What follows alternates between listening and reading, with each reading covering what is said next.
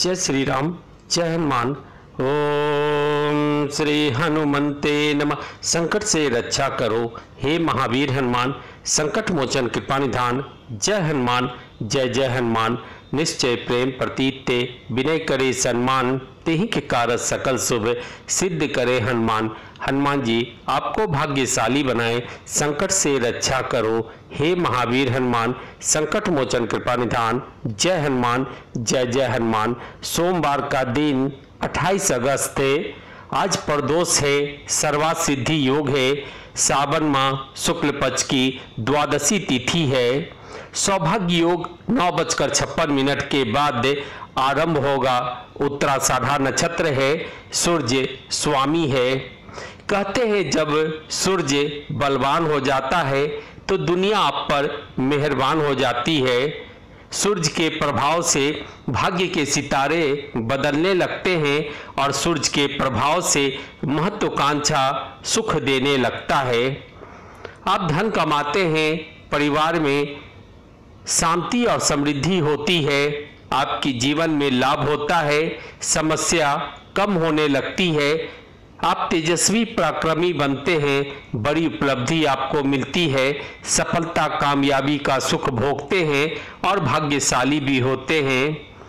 जब आपकी कुंडली में सूर्य शुक्र का प्रभाव होगा, आप बहुत भाग्यशाली होंगे, मेहनत, लग्न, उत्साह, संघर्ष से अपने जीवन में तरक्की और खुशी प्राप्त करेंगे।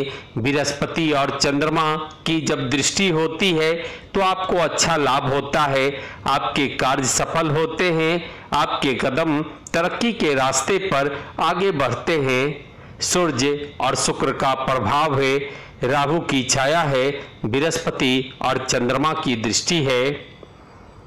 आज रक्षाबंधन के संबंध में हम आपको कुछ बताना चाहते हैं। रक्षाबंधन 30 अगस्त को है या 31 अगस्त को, पंचांग के अनुसार 30 अगस्त को पूरे दिन भद्रा रहेगा। रक्षाबंधन बनाने के लिए समय और शुभ मुहूर्त आपके लिए क्या होगा, इसकी जानकारी हम आपको दे रहे हैं। हिंदू पंचांग के अनुसार 30 अगस्त 2023 को सुबह दस बजकर अंठावन मिनट से पूर्णिमा तिथि लगने के साथ ही भद्रा लग जाएगी। जैसे पूर्णिमा तिथि आरंभ होगा, वैसे ही भद्रा आरंभ हो जाएगा, जो रात नौ बजे तक यानी नौ बजकर एक मिनट तक रहेगा। यानी सुबह दस बजकर अंठावन मिनट पर जब पूर्णिमा तिथि आरंभ होगा 30 अगस्त को तो रात नौ बजकर एक मिनट तक भद्रा भी पूर्णिमा तिथि के साथ होगा। कहा जाता है, भद्रा काल में रक्षाबंधन नहीं मनाना चाहिए। अच्छे मुहूर्त, भद्रा रहित काल में भाई की कलाई पर राखी बांधने से भाई के कार्य सिद्ध होते हैं। आपके भाई विजय प्राप्त करते हैं, उनके जीवन में खुशियाँ आती है, सुख बढ़ता है। भाई के परिवार में समृद्धि सौभाग्य बढ़ता है तो आपको क्या करना है? भद्रा में राखी नहीं बांधनी है। तो 30 अगस्त को रात नौ बजकर एक मिनट के बाद आप राखी बांधे।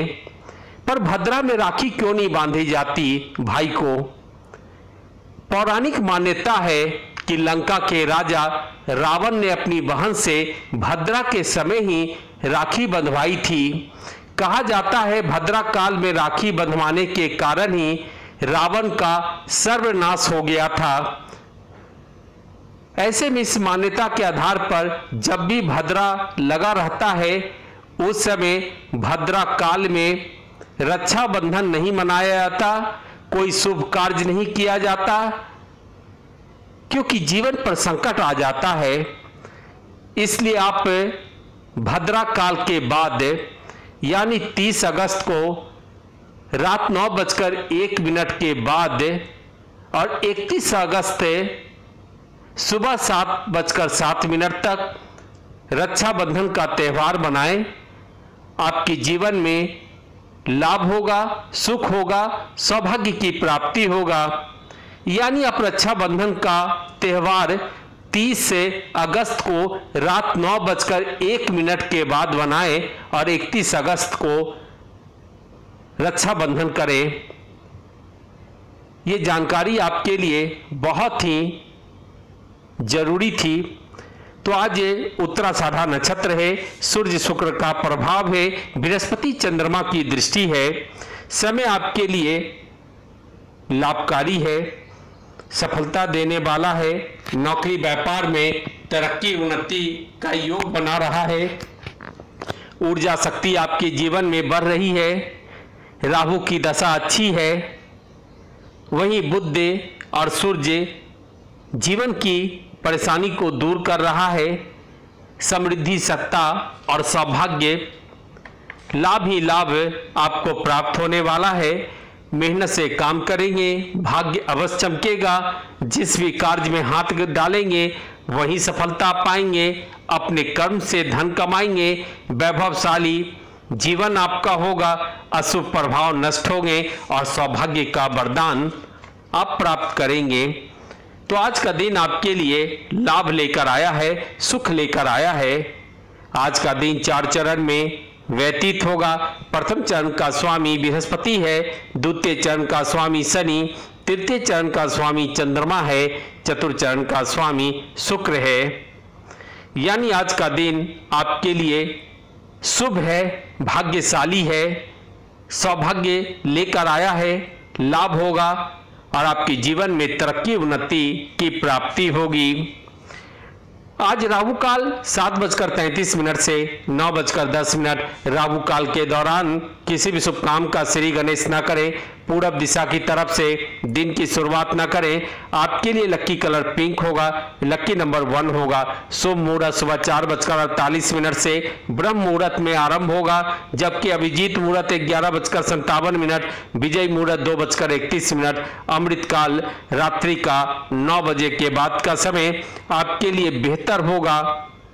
और सर्वा सिद्धि योग रात्रि का समय आपके लिए विशेष तौर पर जीवन में सुख देने वाला साबित होगा। तो आज ये सूर्य शुक्र के प्रभाव से सौभाग्य योग में बृहस्पति चंद्रमा की दृष्टि से कर्म, धन, लाभ, भाग्य की प्रबलता, सुख है। यानी आज ये मनवांछित सफलता और आपकी जीवन की समस्याओं का समाधान होगा। आप भाग्यशाली बनेंगे, सौभाग्यशाली बनेंगे। तो आप हनुमान जी का दर्शन करें, हनुमान जी की पूजा करें। आज प्रदोष भी है। तो महादेव की आराधना करें। आपके लिए दिन बड़ा शुभ है, भाग्यशाली योग है। किस्मत आपका साथ देगा और आप विजय प्राप्त करेंगे। कार सिद्धि का योग है। आपके लिए आज का दिन भाग्यशाली है, सौभाग्यशाली है। तो आज आप हनुमान जी का दर्शन करें, हनुमान जी की पूजा करें। जय श्री राम, जय हनुमान, जय श्री राम, जय हनुमान।